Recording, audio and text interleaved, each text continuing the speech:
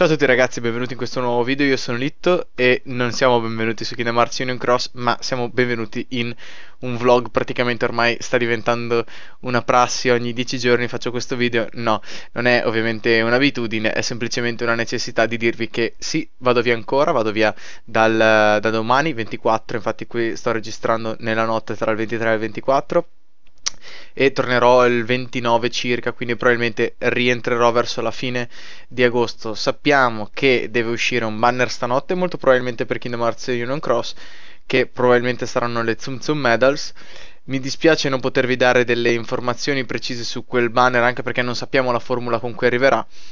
Spero eventualmente di potervi dire qualcosa tramite Twitter, comunque lo, lo trovate in descrizione il mio, il mio di, il mio profilo di Twitter e eh, eventualmente poi si ripartirà a settembre con, un, eh, con probabilmente la prima medaglia tier 6 in Giappone avranno finalmente il, il, loro anniversario quindi si faranno le speculazioni eventualmente se si tratterà di una nuova Kairi o quant'altro.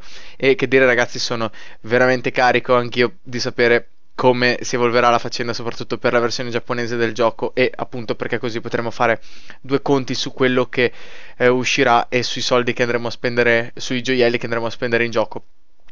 Dunque, attenzione perché sì, eh, stasera uscirà il banner nuovo o forse no, forse venerdì, non lo sappiamo precisamente, anche se credo che stanotte co- si concluda un altro banner, quindi molto probabilmente arriverà il nuovo banner.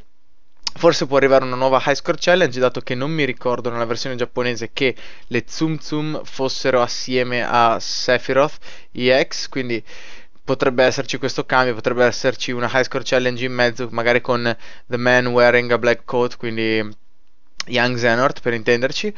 E che altro dire, boh, il resto lo scopriremo solo vivendo, ragazzi, mi raccomando. Non impazzite senza di me, so che siete tutti bravissimi comunque, però Spero che la mia mancanza non vi crei dei danni all'interno del gioco. Nel dubbio, sapete che vale la pena sempre aspettare le Tsum Tsum. Forse avevo detto qualcosa prima.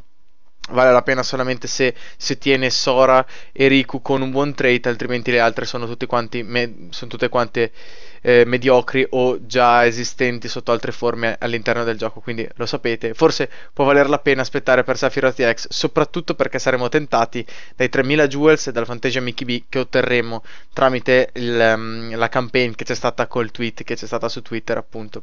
Dunque ragazzi, come vi dicevo, se volete seguirmi su Twitter, lì magari darò delle informazioni in più su quello che ci sarà da fare, dato che mi sarà assolutamente impossibile fare video dove sarò in vacanza.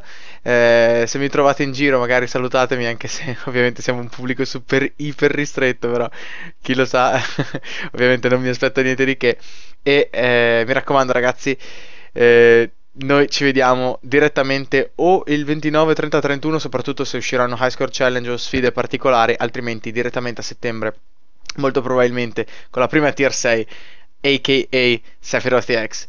Lasciate un bel mi piace per farmi capire che comunque vi augurate una buona vacanza o anche un buon commento per farmi sapere che cosa ne pensate del fatto che vada via ancora. So che è brutto che vada via due volte in un mese, però ragazzi ad agosto è dove un po' tutti cercano di staccare la spina, quindi abbiate un attimo di pazienza e siate contenti anche per me. Io sono contento se voi tutti quanti andate in vacanza, ve lo auguro assolutamente. Direi che questo è tutto e noi direi che ci rivediamo in un prossimo video riguardante Kingdom Hearts e Kingdom Hearts Union Cross. Alla prossima e ciao ciao ciao.